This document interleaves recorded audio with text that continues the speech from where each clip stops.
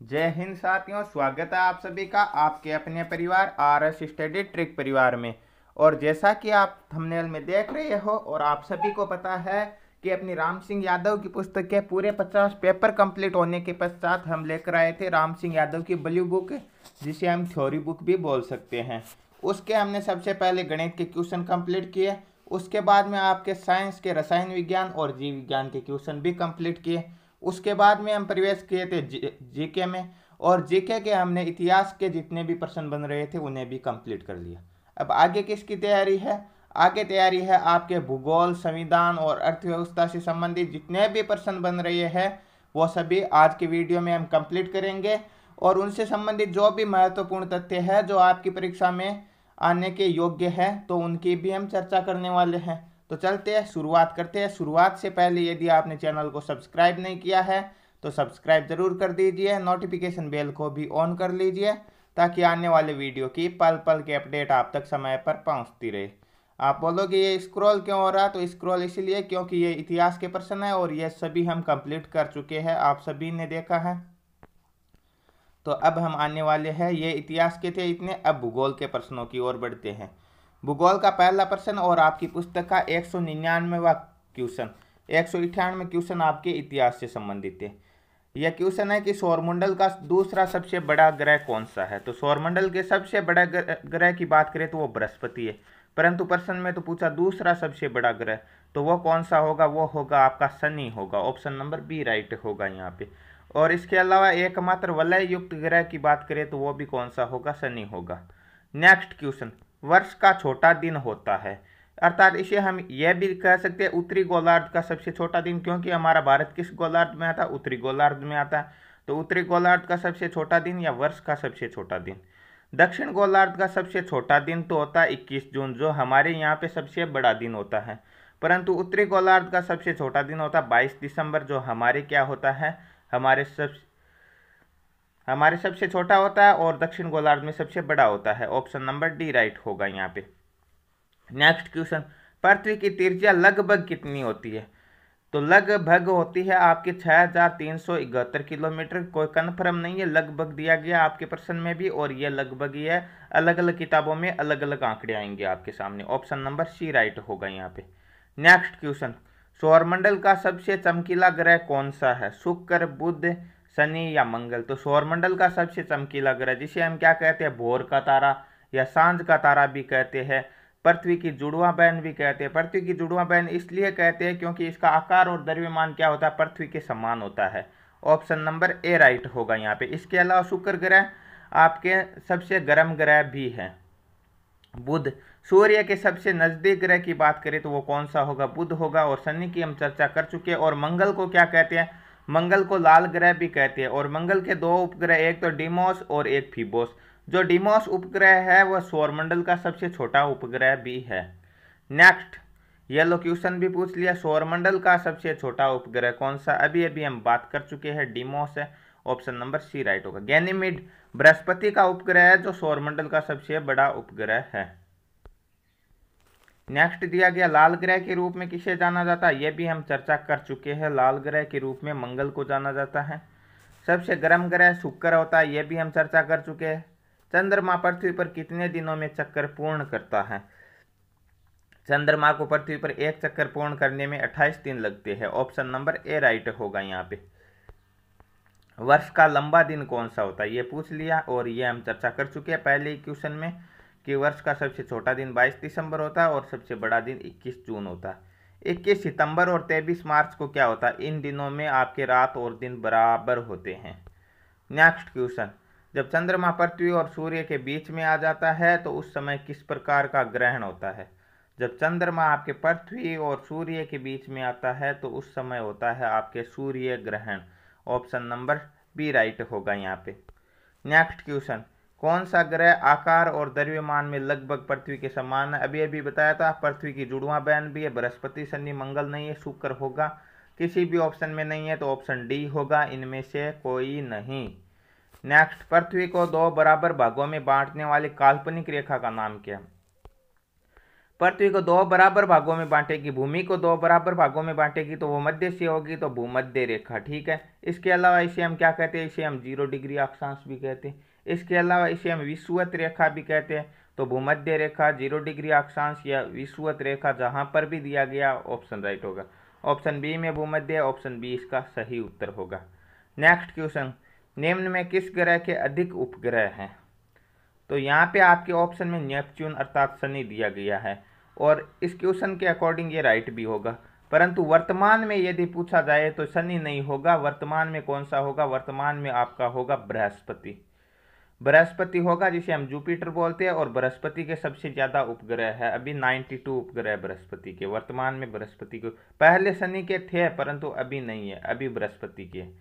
Next question पृथ्वी के दोनों ओर कौन से ग्रह है? तो पृथ्वी के दोनों ओर कौन से ग्रह तो ये आपका सूर्य हो गया। और सूर्य के जस्ट बाद में यहाँ पे सूर्य के सबसे नज़दीक ग्रह कौन सा हो गया? सबसे नज़दीक हो गया, बुध हो गया। और बुध के जस्ट बाद में ये हो गया आपका शुक्र।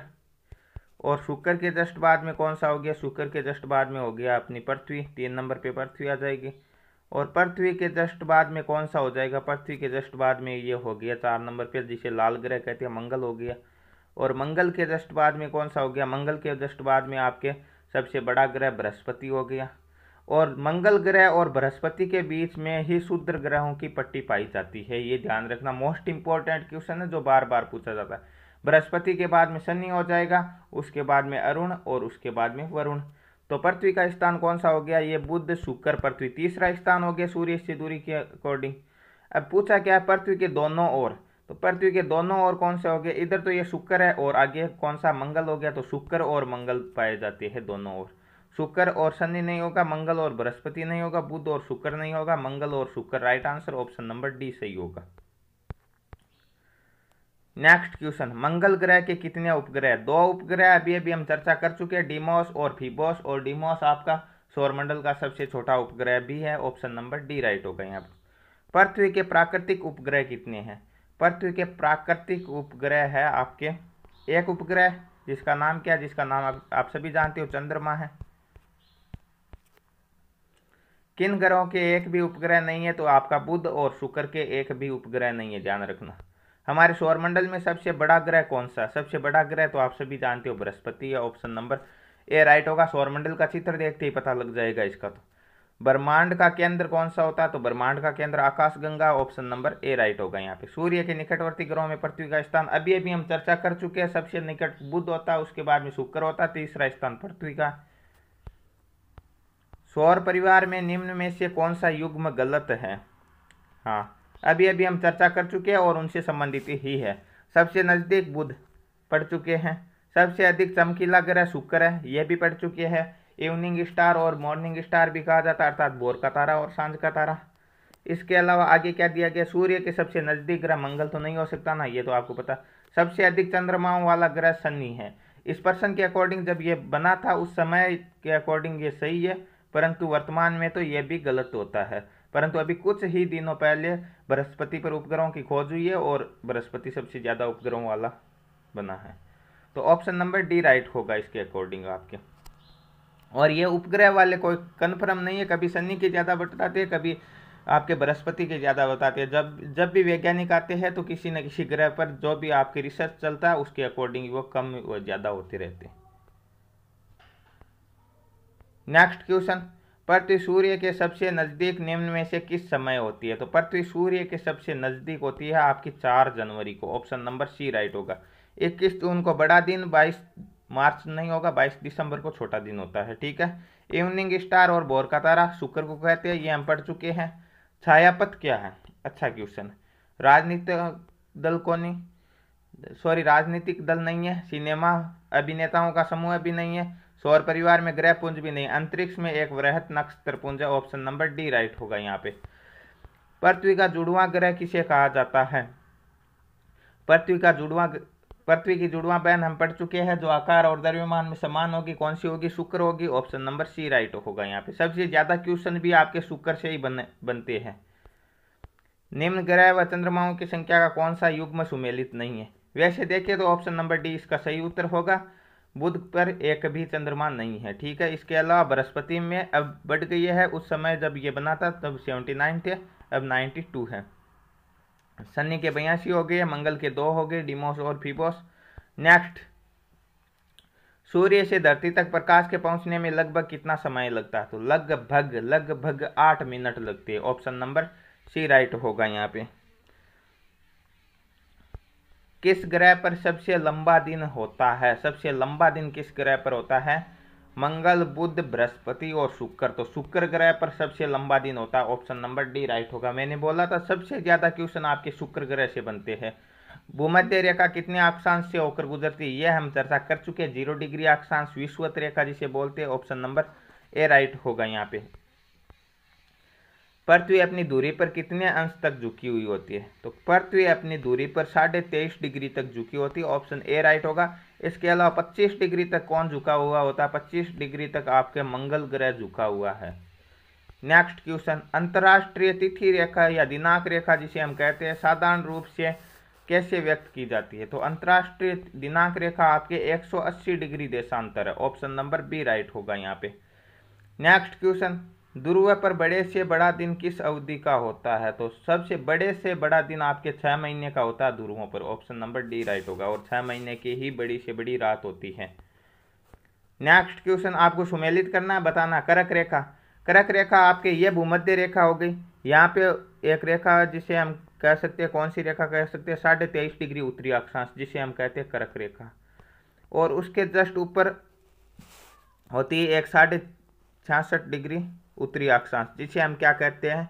जिसे हम कहते हैं आर्कटिक वर्त और इधर हो जाएगी साढ़े तेईस डिग्री दक्षिण अक्षांश, जिसे मकर रेखा कहते हैं, और इधर हो जाएगी आपकी साढ़े छियासठ डिग्री दक्षिण अक्षांश, जिसे हम कहते हैं अंटार्कटिक वर्त तो आपके ऑप्शन में दिया गया है करक रेखा, साढ़े तेईस डिग्री उत्तरी अक्षांश। किस ऑप्शन में दिया गया? एक में दिया गया तो एक इसका सही उत्तर होगा। फिर दिया गया मकर रेखा। मकर रेखा क्या हो जाएगी? साढ़े छियासठ डिग्री उत्तरी अक्षांश सॉरी, साढ़े तेईस डिग्री दक्षिण अक्षांश होगी मकर रेखा, ठीक है? तो पहले एक होगा, फिर होगा चार। अब दिया गया आर्कटिक वर्त साढ़े छियासठ डिग्री उत्तरी अक्षांश और अंटार्कटिक वर्त साढ़े छियासठ डिग्री दक्षिण अक्षांश। तो एक, चार, तीन, दो और लास्ट में विश्वत रेखा आप बता चुके हैं आपको, ज़ीरो डिग्री अक्षांश हो जाएगी पाँच। एक, चार, तीन, दो, पाँच ऑप्शन बी में दिया गया ऑप्शन बी इसका सही उत्तर होगा। नेक्स्ट क्वेश्चन ऋतु परिवर्तन पृथ्वी की किस गति के कारण होते हैं? तो ऋतु परिवर्तन पृथ्वी की वार्षिक गति के कारण होता है। ऑप्शन बी में वार्षिक गति, ऑप्शन बी इसका सही उत्तर होगा। भूमि की कितने प्रतिशत जगह पानी से ढकी होती है? तो भूमि की कितने प्रतिशत जगह पर पानी है? इकहत्तर प्रतिशत लगभग पानी से ढका हुआ है। नेक्स्ट क्वेश्चन, निम्न में से कौन सा एक वृहत वृत्त कहलाता है तथा पृथ्वी को दो भागों में बांटने वाली रेखा है? पृथ्वी को दो भागों में बांटने वाली और वृहत वृत्त कौन सी होगी? भूमध्य रेखा होगी ऑप्शन सी राइट होगा यहाँ पे। पृथ्वी के वायुमंडल का सर्वाधिक घनत्व कहाँ पर होता है? सबसे ज़्यादा घनत्व आपके ट्रोपोस्पियर अर्थात शोभ मंडल में होता है। ऑप्शन नंबर ए राइट होगा यहाँ पे। सूर्य से आने वाली पराबैंगनी हानिकारक किरणों को रोकने वाली परत को क्या कहते हैं? उसे ओजोन परत या ओजोनोस्फीयर कहते हैं, जिसका प्रतीक क्या होता है? ओ थ्री होता है। नेक्स्ट सुनामी नाम किससे संबंधित है? सुनामी आपके समुद्री भूकंप से संबंधित है। ऑप्शन नंबर ए राइट होगा। तो यह थे भूगोल से संबंधित सामान्य तथ्य। अब हम कुछ भारतीय भूगोल, भारत के कुछ स्थानों, कुछ विशेष की चर्चा करने वाले हैं। तो सबसे पहले दिया गया श्रीलंका भारत से कौन सी दिशा में है? अच्छा क्वेश्चन है आप सभी को पता है, जिसने भारत का मानचित्र देखा, उस, उसे पता है। क्यों पता है? क्योंकि श्रीलंका है ही इतना सा अपने देश का मानचित्र खरीदते हैं तो श्रीलंका का मानचित्र मुफ़्त में साथ आता है। ठीक है? तो भारत के कौन सी दिशा में दिखाई देता है? उत्तरी सॉरी दक्षिण दिशा में ऑप्शन नंबर डी राइट होगा यहाँ पे। करक रेखा निम्न में से किस राज्य से गुजरती है? तो करक रेखा किस राज्य से गुजरती है? करक रेखा भारत के आठ राज्यों से गुजरती है और भारत को दो भागों में बांटने का काम करती है। सबसे पहले आपके गुजरात से गुजरती है। गुजरात के बाद, जस्ट बाद में आ जाएगा राजस्थान। राजस्थान के बाद में ये गुजरती है मध्य प्रदेश से। उसके बाद में ये आपके गुजरती है छत्तीसगढ़ से, छत्तीसगढ़ के बाद में झारखंड। झारखंड के बाद में आ जाएगा आपका पश्चिम बंगाल, फिर त्रिपुरा आ जाएगा और फिर मिजोरम आ जाएगा। इस प्रकार यह आठ राज्यों से गुजरती हैं। तो यहाँ पे कौन सा हो जाएगा? उत्तर प्रदेश से नहीं गुजरेगी, हरियाणा से नहीं, हिमाचल प्रदेश से नहीं, मध्य प्रदेश से गुजरती है। ऑप्शन नंबर डी राइट होगा यहाँ पर भारत में शंकुधारी वन कहाँ पाए जाते हैं? बर्फीले इलाकों में पाए जाते हैं शंकुधारी वन। तो आप सभी बता सकते हो, हिमालय में ही पाएँगे, राजस्थान में तो पानी से रही। ठीक है। नेक्स्ट श्रीनगर को लेह से जोड़ने वाला दर्रा कौन सा? श्रीनगर को लेह से जोड़ने वाला दर्रा आपके जोजिला दर्रा ऑप्शन नंबर ए राइट होगा। नाथुला दर्रा और जलेपला दर्रा किस राज्य में है? तो ये आपके सिक्किम में है। आगे नाथुला दर्रा से संबंधित क्वेश्चन भी आएगा, कन्फर्म आएगा। मोस्ट इंपॉर्टेंट दराई ये लो नाथुला एक स्थान है। ला का मतलब होता है दर्रा। ठीक है तो नाथुल्ला एक स्थान है जहाँ चौवालीस वर्षों के बाद भारत, चीन सीमा व्यापार फिर से शुरू किया गया है। वह किस भारतीय सीमा पर स्थित है? सिक्किम में है। ऑप्शन नंबर ए राइट होगा यहाँ पे। Next question. टेहरी बाँध किस नदी पर है? टिहरी बाँध किस नदी पर है? सतलुज, कावेरी, भागीरथी या कृष्णा? तो टिहरी बाँध आपके भागीरथी नदी पर स्थित है। हीराकुंड बाँध महानदी पर स्थित है ओडिशा राज्य में स्थित है ऑप्शन नंबर सी राइट होगा नेक्स्ट क्वेश्चन का उत्तर भी हम कर चुके हैं किस राज्य में है हीराकुंड ओडिशा में है नेक्स्ट गोविंद वल्लभ पंत सागर जलाशय किस नदी पर है तो ये रिहंद नदी पर है ऑप्शन बी में रिहंद है ऑप्शन बी इसका सही उत्तर होगा नेक्स्ट क्वेश्चन अमरकंटक से किस नदी का उद्गम होता है? सोन, महानदी, गोदावरी या नर्मदा? तो अमरकंटक से नर्मदा नदी का उद्गम होता है, जिसे गुजरात की जीवन रेखा भी कहते हैं। सरदार सरोवर बाँध स्थित है, जिस पर नेक्स्ट दिया गया किस नदी को नमक की नदी भी कहा जाता है। जिसका नाम नमक के अकॉर्डिंग होगा लूणी नदी को कहा जाता है, सीधा सा ऑप्शन नंबर बी राइट होगा। और लूणी नदी का उद्गम कहाँ से होता है? लूणी नदी का उद्गम आपके राजस्थान के अजमेर के नाग पहाड़ से होता है, और जहाँ से इसका उद्गम होता है, वहाँ से इसका नाम क्या है? उसका नाम है सागरमती। साबरमती मत कर देना, सागरमती। वैसे देखें तो सागर, साबरमती नदी का उद्गम भी राजस्थान से ही होता है, परंतु वो कहाँ से होता है? वो उदयपुर की पहाड़ियों से होता है। और लूणी नदी सागरमती के नाम से उद्गमित होती है, अजमेर से। और इसका बाड़मेर तक पानी मीठा है, और उसके बाद में उसका पानी क्या हो जाता है? खारा हो जाता है। इसीलिए लूणी नदी को आधी खारी और आधी मीठी भी कहा जाता है। नेक्स्ट सरदार सरोवर परियोजना किस नदी पर यह हम चर्चा कर चुके हैं। नर्मदा नदी पर है। ऑप्शन नंबर बी राइट होगा। निम्न में से कौन सा पर्वत नर्मदा और ताप्ती नदी के बीच में बहता है? तो कौन सा पर्वत श्रृंखला हो जाएगी नर्मदा और ताप्ती के बीच में? सतपुड़ा पर्वत श्रृंखला हो जाएगी। ऑप्शन सी में सतपुड़ा है तो ऑप्शन सी इसका सही उत्तर हो जाएगा। कावेरी नदी किन दो राज्यों के बीच में है? कावेरी जल विवाद भी होता है, इनके मध्य किन दो राज्यों के बीच में? कर्नाटक और तमिलनाडु के बीच में ऑप्शन नंबर बी राइट होगा। बिहार का विषाद या बिहार का शोक किसे कहा जाता? है कोसी नदी को कहा जाता, ऑप्शन नंबर सी राइट होगा। पूर्व से पश्चिम की ओर बहने वाली नदी कौन सी है? पूर्व से पश्चिम की ओर मतलब इधर से आएगी और इधर अरब सागर की ओर गिरेगी। तो पूर्व से पश्चिम की ओर बहने वाली नदी सीधा सा अरब सागर में ही गिरने वाली है। तो अरब सागर में इनमें से कौन सी गिरेगी? अरब सागर में इनमें से नर्मदा नदी गिरेगी ऑप्शन बी राइट होगा। गोदावरी, कावेरी, ये तो आपकी बंगाल की खाड़ी में गिरेगी तो ये पश्चिम से पूर्व की ओर जाएगी। नेक्स्ट तीर्थ स्थल ऋषिकेश किस नदी के किनारे स्थित है? तो ऋषिकेश किस नदी के किनारे स्थित है? यमुना यमुना नदी के किनारे इंपॉर्टेंट तीन शहर है जिसकी आपको ट्रिक बताई गई है। क्या ट्रिक बताई गई? आदिम। आदिम का मतलब क्या हो जाएगा? आदिम आदिम से हो जाएगा आगरा, दिल्ली, मथुरा। तीनों शहर यमुना नदी के किनारे स्थित हैं। इसके अलावा कानपुर, पटना, ऋषिकेश, ये किस नदी के किनारे स्थित है? ये आपके गंगा नदी के किनारे स्थित है।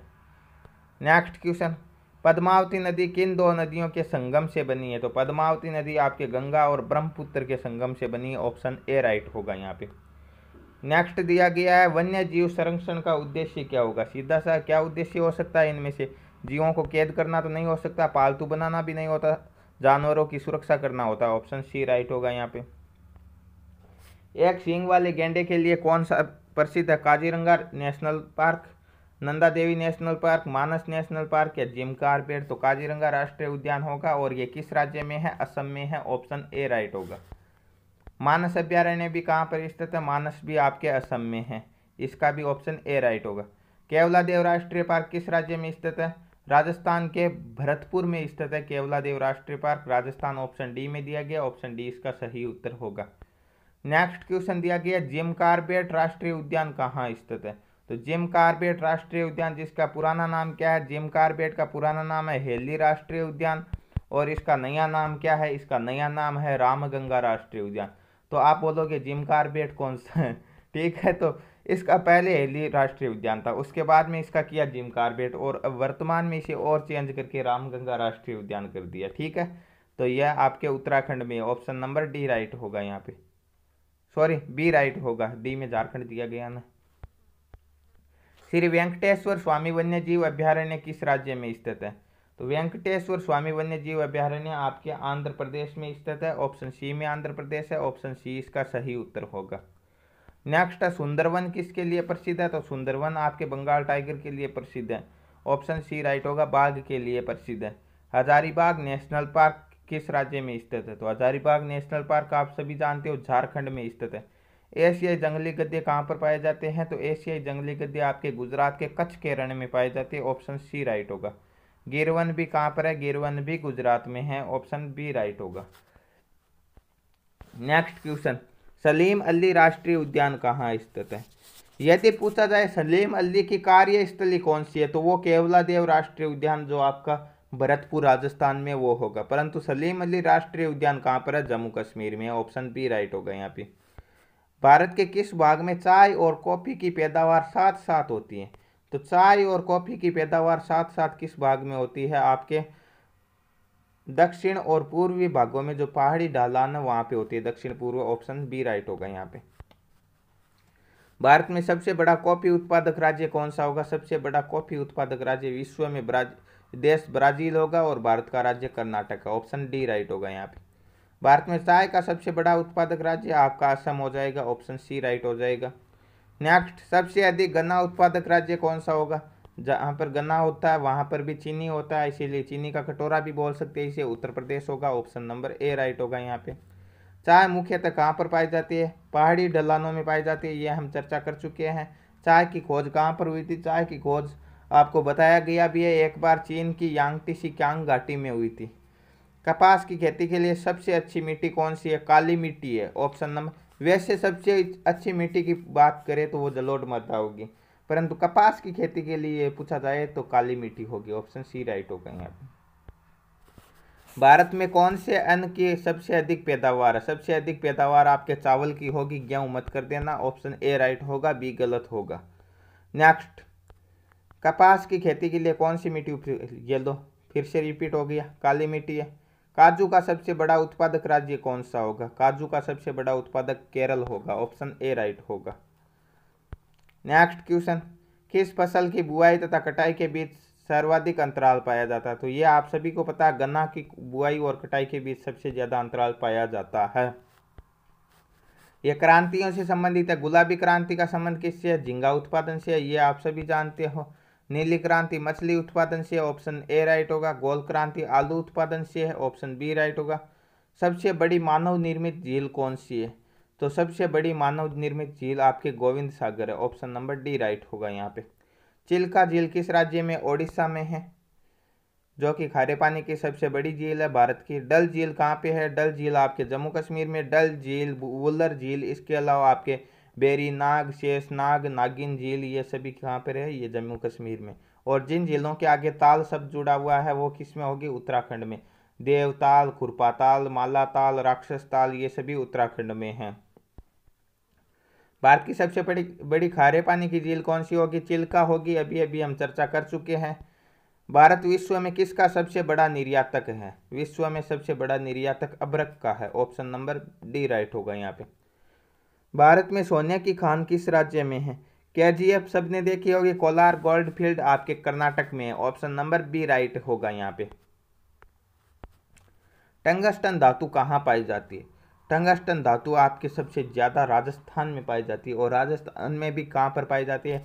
वह हमारे ज़िले नागौर में पाई जाती है। ठीक है, नागौर के डेगाना भाकरी क्षेत्र में पाई जाती है। ऑप्शन सी राइट होगा यहाँ पे। Next question. भारत में हीरे किस स्थान पर पाए जाते हैं? तो हीरे कहाँ पर पाए जाएँगे? पन्ना, और पन्ना कहाँ पे है? एमपी में। ऑप्शन नंबर बी राइट होगा यहाँ पे। तो यह थे भारत के भूगोल से संबंधित कुछ मोस्ट इंपॉर्टेंट फैक्ट अब हम बात करने वाले विश्व के भूगोल की। तो विश्व का भूगोल दिया गया और सबसे पहला क्वेश्चन दिया गया, कौन सा सागर ऑस्ट्रेलिया और न्यूजीलैंड को अलग करता है? अरब सागर तो नहीं करेगा, ये तो आप सभी को पता है। तो तस्मान सागर इसका राइट आंसर होगा ऑप्शन नंबर बी राइट होगा यहाँ पे।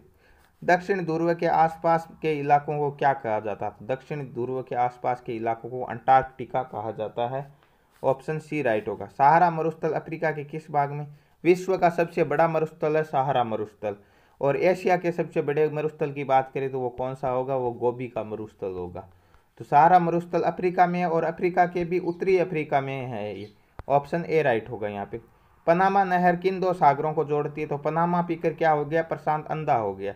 तो पनामा नहर आपके प्रशांत सागर और अंध सागर, जिसे हम अटलांटिक महासागर कहते हैं। प्रशांत महासागर और अटलांटिक महासागर को जोड़ती है। ऑप्शन डी राइट होगा यहाँ पे। वह देश जहाँ से भूमध्य रेखा तथा मकर रेखा गुजरती है, कौन सा देश है? ऐसा महाद्वीप, जिससे आपकी भूमध्य रेखा मकर रेखा और करक रेखा तीनों रेखाएँ गुजरती है। वो कौन सा महाद्वीप है? उस महाद्वीप की बात करें तो वो अफ्रीका महाद्वीप है। और वह देश जिससे भूमध्य रेखा और मकर रेखा गुजरती है, वो ब्राज़ील है। ऑप्शन बी राइट होगा यहाँ पे। Next question. दुनिया का सबसे बड़ा रेगिस्तान, ये हम चर्चा कर चुके हैं। थार का रेगिस्तान तो भारत का सबसे बड़ा गोभी एशिया का सबसे बड़ा और दुनिया का सबसे बड़ा सहारा जो उत्तरी अफ्रीका में पाया जाता है। स्वेज नहर किन दो सागरों को जोड़ती है? लाल सागर और भूमध्य सागर। ऑप्शन ए में है, ऑप्शन ए, इसका राइट आंसर हो जाएगा। निम्न में से कौन सी विश्व की सबसे बड़ी झील है? विश्व की सबसे बड़ी झील कौन सी है? कैस्पियन सागर है। ऑप्शन नंबर बी राइट होगा यहाँ पे। नेक्स्ट क्वेश्चन, एशिया में सबसे विशाल मरुभूमि कौन सी होगी? गोभी की मरुभूमि। ऑप्शन नंबर सी राइट होगा। भूमध्य रेखा के समांतर कौन सी रेखा? यह भूमध्य रेखा और इस तरफ़ चलने वाली इन रेखाओं को क्या कहते हैं? ऊपर और नीचे दोनों तरफ़। इन्हें अक्षांश रेखाएँ कहते हैं। ऑप्शन नंबर बी राइट होगा यहाँ पे। सबसे छोटा देश जनसंख्या में, चाहे जनसंख्या की बात करें, चाहे क्षेत्रफल की बात करें, सबसे छोटा तो कौन सा होगा? वेटिकन सिटी ये देश नहीं है, एक इतना सा महल है जिसमें एक हज़ार लोग आ सके। एक्चुअली क्या है? इसमें जो इटली का धर्मगुरु पोप है, वो यहाँ पे बैठता है। और इसीलिए इसे पोप का शहर भी कहा जाता है और अपने धर्मगुरु को ऊँचा दर्जा दिलवाने के लिए इसे देश घोषित करवाया गया है। नेक्स्ट क्वेश्चन सबसे अधिक रबड़ किस देश में उत्पन्न होता है? तो सबसे अधिक रबड़ किस देश में उत्पन्न होता है? थाईलैंड में होता है। इसके अलावा थाईलैंड को क्या कहा जाता है? श्वेत हाथियों का देश कहा जाता है। तो हाथियों का देश किसे कहा जाता है? हाथियों का देश लाहौस को कहा जाता है। विश्व का सबसे बड़ा महाद्वीप कौन सा है? ये अपना महाद्वीप है Asia option number C right होगा यहाँ पे। ब्राज़ील किस पदार्थ का सबसे बड़ा निर्यातक है? तो ब्राज़ील किस पदार्थ का होगा? ये हम चर्चा कर चुके हैं, कॉफ़ी का है और भारत में कौन है? कर्नाटक है। हवाई द्वीप निम्न में से किस देश का भाग है? तो हवाई द्वीप अमेरिका का भाग है, ऑप्शन सी राइट होगा यहाँ पे। सवाना क्या है? ऑस्ट्रेलिया में शीतोष्ण घास का मैदान, ध्रुवीय क्षेत्रों में बलुई मिट्टी, चीन में जलोढ़ उपजाऊ मिट्टी या अफ्रीका में उष्ण कटिबंधीय घास का मैदान। तो सवाना आपके अफ्रीका में उष्ण कटिबंधीय घास के मैदान हैं। विश्व का सबसे ऊँचा जलप्रपात किस देश में है? तो विश्व का सबसे ऊँचा जलप्रपात आपके वेनेजुएला में है। ऑप्शन नंबर बी राइट होगा यहाँ पे। संसार का सबसे बड़ा द्वीप ग्रीनलैंड है, जो किसका अभिन्न अंग है? डेनमार्क का अभिन्न अंग है। ऑप्शन सी राइट होगा। एशिया का सबसे बड़ा द्वीप कौन सा होगा? बोर्नियो होगा। ऑप्शन सी राइट होगा। सबसे अधिक गीला स्थान मासिनराम है जो किस राज्य में है? मेघालय में है, भारत में है। ऑप्शन नंबर बी राइट होगा यहाँ पे। अधिकतम फ़सल उत्पादन के रूप में कौन सा युग्म गलत है? चावल सबसे ज़्यादा चीन में होते हैं तो भारत में कैसे होगी? यही गलत हो जाएगा। Option A right. तंबाकू अमेरिका में और कॉफ़ी ब्राज़ील में। तंबाकू की खेती भारत में कौन लेकर आए? ये आपको बता चुके हैं। पिछले वीडियो में जब हम हिस्ट्री की बात कर रहे थे तो पुर्तगाली भारत में लेकर आए थे। पेट्रोलियम पदार्थों का सबसे अधिक उत्पादक देश कौन सा होगा? आप सभी जानते हो सऊदी अरब है, ऑप्शन बी राइट होगा यहाँ पे। नेक्स्ट क्वेश्चन विश्व की नदियों किनारे बसे नगर में कौन सा युग्म गलत है? तो बगदाद, टिग्रिस नदी के किनारे बसा इराक की राजधानी बोन राइन नदी के, काहिरा नील नदी के, और बोन राइन नदी बिल्कुल सही है, काहिरा नील नदी लाहौर सिंध के किनारे नहीं है। ऑप्शन डी राइट होगा। लाहौर किस नदी के किनारे बसा हुआ है? ये इस प्रश्न का उत्तर आपको कमेंट बॉक्स में कमेंट करके देना होगा। नेक्स्ट उद्योग और उनसे जुड़े शहरों में कौन सा युग्म गलत है? तो कौन सा गलत होगा? बाकू अजरबैजान, पेट्रोलियम का हॉलीवुड अमेरिका में फ़िल्म, लीड्स इंग्लैंड सूती वस्त्र या मियामी अमेरिका मनोरंजन? तो बाकी सही है, ये इंग्लैंड का लीड्स नहीं होगा, ये होगा आपका मैनचेस्टर। ठीक है, मैनचेस्टर सूती वस्त्र उद्योग के लिए प्रसिद्ध है। ऑप्शन सी राइट हो जाएगा, ये अलग है इनमें से। तो यह थे आपके भूगोल से संबंधित प्रश्न और उनसे संबंधित जितने भी महत्वपूर्ण तथ्य बन रही है, उनकी भी हमने चर्चा की है। अब हम बात करने वाले भारतीय संविधान अर्थात राजनीतिक व्यवस्था के बारे में। तो संविधान के लिए आपका प्रश्न आने वाले हैं। ये आ भी गई है आपकी स्क्रीन पर। पहला प्रश्न भारत के अटॉर्नी जनरल की नियुक्ति कौन करता है? तो नियुक्ति कौन करेगा? नियुक्ति आपका राष्ट्रपति करेगा। ऑप्शन नंबर सी राइट होगा। अटॉर्नी जनरल अर्थात महान्यायवादी। संविधान के अनुच्छेद छिहत्तर के अकॉर्डिंग ये नियुक्ति की जाती है। भारत में लोकसभा के चुनाव कितने वर्षों बाद करवाए जाते हैं? पाँच वर्षों बाद। ऑप्शन ए राइट होगा यहाँ पे।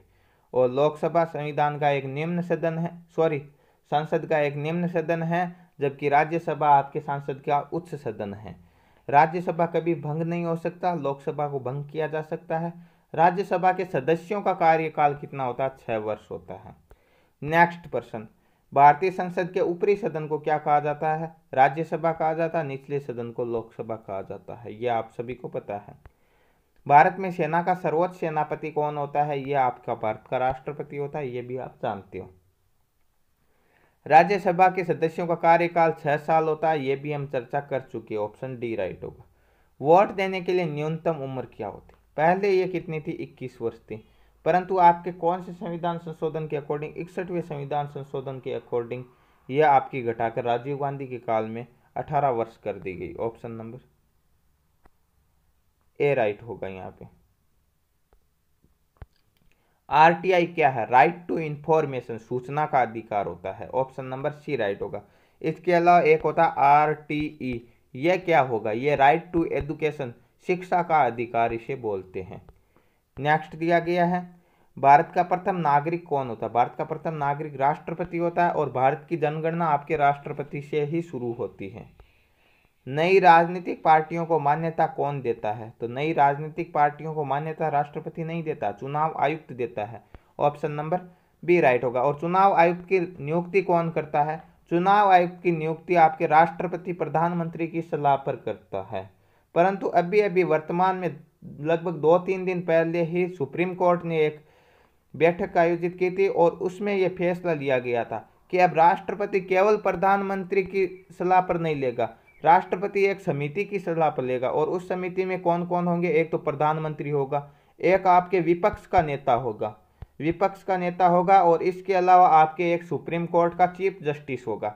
यह तीन व्यक्तियों की एक समिति होगी और यह राष्ट्रपति को सलाह देगी कि किसे चुनाव आयुक्त नियुक्त करना है। यह अभी थोड़े दिन पहले संशोधन हुआ है। नेक्स्ट भारत के उपराष्ट्रपति चुने जाते हैं। किसके द्वारा चुने जाते हैं? तो भारत के उपराष्ट्रपति आपके राज्यसभा के सदस्य और लोकसभा के सदस्य दोनों वोट देते हैं इसके लिए। ऑप्शन नंबर सी राइट होगा यहाँ पे। भारत का प्रथम व्यक्ति कौन होता है? तो भारत का प्रथम व्यक्ति कौन हो जाएगा? भारत का राष्ट्रपति होगा। ऑप्शन नंबर ए में राष्ट्रपति है तो ऑप्शन नंबर ए इसका सही उत्तर होगा। नेक्स्ट क्वेश्चन राज्य सरकार की विधानसभा का मुखिया कौन होता? है लोकसभा का मुखिया प्रधानमंत्री होता तो विधानसभा का कौन हो जाएगा? मुख्यमंत्री हो जाएगा। योजना आयोग की स्थापना कब की गई थी? योजना आयोग की स्थापना 1950 में की गई थी, परंतु वर्तमान में ये योजना आयोग नहीं हुआ है। एक जनवरी 2015 के बाद में ये क्या बन गया? ये बन गया नीति आयोग। और इसका पदेन सभापति कौन होता है? नीति आयोग का पदेन सभापति आपके प्रधानमंत्री होता है। और इसका उपाध्यक्ष कौन है? इसका उपाध्यक्ष वर्तमान में है सुमन के बेरी। संविधान की प्रारूप समिति के अध्यक्ष कौन है? प्रारूप समिति के अध्यक्ष आपके डॉक्टर भीमराव अंबेडकर हैं। और संविधान सभा के आपके अस्थायी अध्यक्ष किसे बनाए गए थे? प्रथम बैठक के सचिदानंद सिन्हा को बनाए गए थे। और दूसरी बैठक में स्थायी अध्यक्ष डॉक्टर राजेंद्र प्रसाद को बनाया गया था। नेक्स्ट सुप्रीम कोर्ट के न्यायाधीशों की नियुक्ति कौन करता है? सुप्रीम कोर्ट के न्यायाधीशों की नियुक्ति आपके राष्ट्रपति करता है। ऑप्शन सी राइट होगा। उपराष्ट्रपति बनने के लिए न्यूनतम आयु सीमा कितनी? राष्ट्रपति, उपराष्ट्रपति और राज्यपाल, इन तीनों के लिए कितनी तय की गई? पैंतीस वर्ष तय की गई। लोकसभा का सदस्य, विधानसभा का सदस्य, प्रधानमंत्री, मुख्यमंत्री, इन सभी के लिए पच्चीस वर्ष है। परंतु राज्यसभा का सदस्य बनने के लिए तीस वर्ष की उम्र अति आवश्यक है। राज्यसभा के उपाध्यक्ष का चुनाव कौन करता? है राज्यसभा के अध्यक्ष जो आपके उपराष्ट्रपति होता है उनका तो लोकसभा और राज्यसभा मिलकर करती है। परंतु उपाध्यक्ष का चुनाव केवल राज्यसभा खुद करती है। ऑप्शन नंबर डी राइट होगा यहाँ पर सर्वोच्च न्यायालय में जजों की आयु सीमा कितनी है? जजों की अधिकतम आयु सीमा आपके पैंसठ वर्ष है। ऑप्शन नंबर ए राइट होगा यहाँ पे। नेक्स्ट क्वेश्चन, नेक्स्ट दिया गया, भारतीय संविधान के अनुसार विदेश नीति कौन से अनुच्छेद में है? तो नीति निर्देशांक तत्वों के अंतर्गत आती है और ये अनुच्छेद इक्यावन में, अनुच्छेद बावन, तिरपन और चौपन, तीनों ही राष्ट्रपति से संबंधित है। बावन में राष्ट्रपति का पद दिया गया है, तिरपन में लिखा गया है कि संघ की कार्यपालिका शक्ति किसमें नीत होती है? राष्ट्रपति में होती है। महिलाओं के लिए निम्न में से किसमें स्थान आरक्षित है? तो महिलाओं के लिए स्थान आपके लोकसभा, राज्यसभा में नहीं है, पंचायती राज में स्थान आरक्षित है। कितना आरक्षण मिला हुआ पंचायती राज में पचास प्रतिशत तक आरक्षण मिला है महिलाओं को। भारतीय संविधान की प्रस्तावना में समाजवादी और धर्मनिरपेक्ष शब्द कब जोड़े गए तो जोड़ने की जहाँ पर भी बात आए तो बयालीसवा संविधान संशोधन उन्नीस सौ छिहत्तर की बात आएगी, जिसे लघु संविधान भी कहा जाता है। बयालीसवें संविधान संशोधन उन्नीस में आपके धर्मनिरपेक्ष और या आपके समाजवादी शब्द जोड़े गए हैं। नेक्स्ट क्वेश्चन राष्ट्रपति राज्यसभा में कितने सदस्य मनोनीत कर सकता है? बारह सदस्य मनोनीत कर सकता है ऑप्शन नंबर बी राइट होगा। लोकसभा में पहले दो कर सकता था एंग्लो इंडियन सदस्यों को, परंतु वर्तमान में ये हटा दिए गए हैं। नेक्स्ट दिया, भारत में लड़की लड़के की क्रमशः आयु कितनी होगी? शादी के लिए तो शादी के लिए लड़की अठारह वर्ष की होनी चाहिए और लड़का इक्कीस वर्ष का होना चाहिए। अठारह इक्कीस ऑप्शन बी राइट होगा यहाँ पे। नेक्स्ट भारतीय संविधान के किस अनुच्छेद के अंतर्गत किसी राज्य में राष्ट्रपति शासन लागू किया जा सकता? है अनुच्छेद तीन सौ बावन, तीन सौ छप्पन और तीन सौ साठ। यह आपको ध्यान होने चाहिए। तीन सौ बावन क्या कहता है? तीन सौ बावन बोलता है आपके राष्ट्रीय आपात, तीन सौ छप्पन राज्य आपात और तीन सौ साठ वित्तीय आपात, ठीक है? तो राज्य आपात का मतलब क्या होगा? राष्ट्रपति शासन तो तीन सौ छप्पन इसका राइट आंसर होगा ऑप्शन नंबर सी राइट होगा यहाँ पे। नेक्स्ट क्वेश्चन भारत में योजना आयोग को भंग कर ये क्वेश्चन आगे। एक जनवरी 2015 को किस नए आयोग की स्थापना की गई? नीति आयोग की ऑप्शन ए राइट होगा यहाँ पे। नेक्स्ट राज्य में विधानसभा को कौन भंग कर सकता है? तो विधानसभा को कौन भंग कर सकता है? राज्यपाल। लोकसभा को कौन भंग कर सकता है? राष्ट्रपति कर सकता है? प्रधानमंत्री की सलाह पर। तो विधानसभा को राज्यपाल भंग कर सकता है? मुख्यमंत्री की सलाह पर। ऑप्शन नंबर ए राइट होगा यहाँ पे। संविधान कब लागू हुआ था? संविधान लागू हुआ था आपके 26 जनवरी 1950 को। ऑप्शन नंबर बी राइट होगा यहाँ पे। संविधान यदि पूछा जाए अंगीकृत कब हुआ तो ये आपके अंगीकृत हुआ था 26 नवंबर उन्नीस को। नेक्स्ट राज्यसभा को कौन भंग कर सकता है? राज्यसभा को भंग कर सकता है, ये फिर से आ गया। सॉरी पहले आपके विधानसभा का पूछा था, अब यह पूछा, राज्यसभा को कौन भंग कर सकता है? तो राज्यसभा को कोई भी भंग नहीं कर सकता। राज्यसभा एक स्थायी सदन है जबकि लोकसभा को भंग किया जा सकता है राष्ट्रपति द्वारा। तो कोई नहीं, ऑप्शन नंबर डी राइट होगा यहाँ पे। प्रधानमंत्री का चुनाव होता है। प्रधानमंत्री का चुनाव किसके द्वारा होता है? लोकसभा के सदस्यों द्वारा। लोकसभा में बहुमत दल का नेता प्रधानमंत्री बनता है हमेशा। संसद के दो सत्रों के बीच में कितना अंतराल हो सकता है? अधिकतम छह माह का अंतराल होता है। ऑप्शन नंबर ए राइट होगा यहाँ पे। शून्य काल की अवधि कितनी होती है? तो शून्य काल की अवधि कितनी हो जाएगी? शून्य काल की अवधि भी आपकी एक घंटे होती है और प्रश्न काल की अवधि भी कितनी होती है? प्रश्न काल की अवधि भी एक घंटे की होती है। नेक्स्ट दिया गया कि लोकसभा को कौन पाँच वर्ष की अवधि पूरा होने से पहले ही भंग कर सकता है? ये हम चर्चा कर चुके हैं। राष्ट्रपति कर सकता है प्रधानमंत्री के अनुमोदन या सलाह पर। संविधान की कौन सी अनुसूची राजकीय भाषाओं से संबंधित थी? तो संविधान की कौन सी अनुसूची भाषाओं से संबंधित है? तो आठवीं अनुसूची में भाषाओं का उल्लेख किया जाता है। ऑप्शन नंबर सी राइट होगा। जब यह संविधान बना था, उस समय आठवीं अनुसूची में कुल कितनी भाषाएँ थी? उस समय कुल चौदह भाषाएँ थी, परंतु वर्तमान में कितनी भाषाएँ? वर्तमान में बाईस भाषाएँ हैं संविधान। लोकसभा का नेता कौन होता? लोकसभा का नेता आपके प्रधानमंत्री होता। ऑप्शन सी राइट होगा यहाँ पे। राज्यसभा का सदस्य बनने के लिए न्यूनतम आयु आयु से संबंधित चर्चा कर चुके हैं, तीस वर्ष होती है। लोकसभा के लिए 25 वर्ष होती है, राष्ट्रपति, उपराष्ट्रपति और राज्यपाल के लिए 35 वर्ष होती है। लोकसभा का सदस्य होने के लिए न्यूनतम आयु यह भी हम चर्चा कर चुके हैं 25 वर्ष होती है, ऑप्शन नंबर बी राइट होगा यहाँ पे। नेक्स्ट क्वेश्चन, राज्यसभा का सभापति कौन होता है? प्रधान सभापति आपके उपराष्ट्रपति होता है राज्यसभा का, ऑप्शन ए राइट होगा यहाँ पे। भारतीय राष्ट्रपति की अधिकतम आयु कितनी हो सकती है? राष्ट्रपति की अधिकतम आयु सीमा कोई निर्धारित नहीं की गई। ऑप्शन नंबर डी राइट होगा, इनमें से कोई नहीं। नेक्स्ट दिया गया, भारत में राष्ट्रपति का चुनाव कौन करता है? तो राष्ट्रपति का चुनाव आपके लोकसभा के निर्वाचित सदस्य, विधानसभा के निर्वाचित सदस्य, इसके अलावा आपके राज्यसभा के निर्वाचित सदस्य, इसके अलावा आपके दिल्ली और पुडुचेरी के निर्वाचित सदस्य। ये सभी करते हैं। तो निर्वाचित सांसद हो गए सभी और विधायक हो गए ऑप्शन ए राइट होगा, सीधी सी बात करें तो। नेक्स्ट दिया गया है कि राष्ट्रपति से संबंधित निम्न में से कौन सा तथ्य गलत है? तो राष्ट्रपति की बात की गई है क्या क्या लिखा है राष्ट्रपति के बारे में? राष्ट्रपति को पद की शपथ सर्वोच्च न्यायालय का मुख्य न्यायाधीश दिलवाता, बिल्कुल दिलवाता है। राष्ट्रपति यदि त्याग पत्र देना चाहे तो उपराष्ट्रपति के पास भेजता। है राष्ट्रपति के पद की न्यूनतम आयु पैंतीस वर्ष है। यह भी सही है, त्यागपत्र उपराष्ट्रपति के पास भेजता, उपराष्ट्रपति अपना त्यागपत्र राष्ट्रपति के पास भेजता, एक दूसरे को भेजते। राष्ट्रपति को पद की शपथ उपराष्ट्रपति नहीं दिलाता है। कौन दिलाता? चीफ जस्टिस दिलाता। ऑप्शन डी राइट हो जाएगा, ये गलत है। भारत के राष्ट्रपति को पद से कौन हटा सकते हैं? भारत की सांसद महाभियोग प्रक्रिया द्वारा हटाया जा सकता है। ऑप्शन नंबर डी राइट होगा। और महाभियोग प्रक्रिया का उल्लेख अनुच्छेद इकसठ में किया गया है। निम्न में से किस एक को छोड़कर राष्ट्रपति को सबसे, राष्ट्रपति सभी को अपने पद से हटा सकता भारत के मान न्यायवादी को हटा सकता है बिल्कुल हटा सकता है राज्यपाल को हटा सकता है, उपराष्ट्रपति को नहीं हटा सकता। जिस प्रकार राष्ट्रपति को सांसद हटाती है, उसी प्रकार उपराष्ट्रपति को भी कौन हटाएगी? सांसद ही हटाएगी। ऑप्शन सी राइट होगा।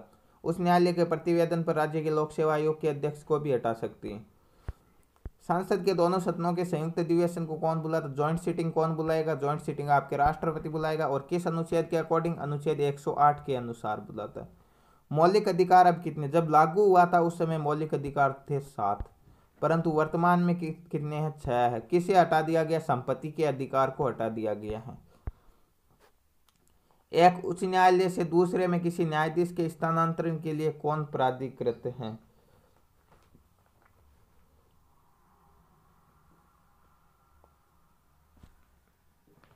राष्ट्रपति, भारत के मुख्य न्यायाधीश, सर्वोच्च न्यायालय के न्यायाधीशों का एक अधिशासी मंडल या वित्त मंत्री। तो कौन होंगे? इसका राइट आंसर कौन सा होगा? ऑप्शन नंबर ए राइट होने वाला है। राष्ट्रपति ही एक से दूसरे में ट्रांसफ़र कर सकता है।